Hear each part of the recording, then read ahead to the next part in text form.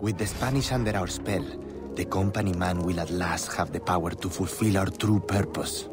And if you provide us the labor, we'll ensure the errors of Santo Domingo are not repeated here. I will do all I can to smooth the handover of the colony, and your mission will have all the workers it needs, provided you make good on your promise. Labor is in tight supply as it is, and I must remain in power as governor.